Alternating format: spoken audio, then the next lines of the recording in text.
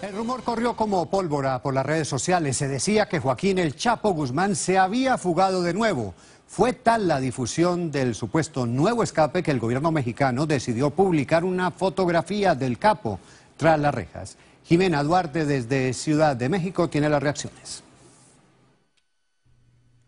Con esta imagen del Chapo Guzmán dentro del penal de Ciudad Juárez, el gobierno de México desmintió los rumores de que el narcotraficante se había fugado por tercera vez de la cárcel, situación que para el abogado del capo es ridícula. Es una cosa muy lógica.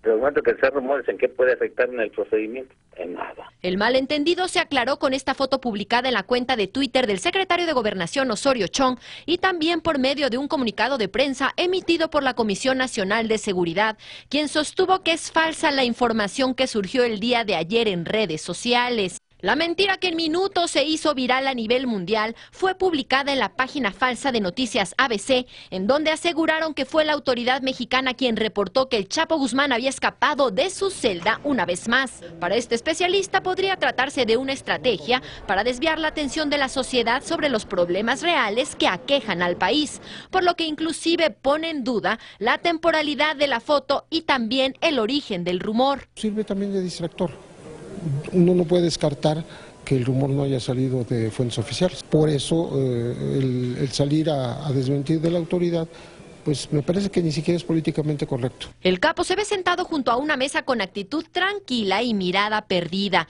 lo que se ha prestado para que los cibernautas se burlen de la escena con decenas de memes que sugieren todo lo que el Chapo pudiese estar pensando en ese momento. Más bien está volteando a ver una cámara de seguridad. La propia fotografía parece un montaje. Por su parte, la autoridad aseguró que desde que Guzmán Loera ingresó a este reclusorio, se estableció un riguroso esquema de vigilancia que haría imposible una nueva fuga. Fue por medio de un error en la redacción de la nota como se detectó que era falsa, y es que decían que el Chapo había desaparecido de su celda desde las 7 de la mañana en el penal del Altiplano, siendo que el narcotraficante está recluido en el penal de Ciudad Juárez. Desde la Ciudad de México, Jimena Duarte, Univisión.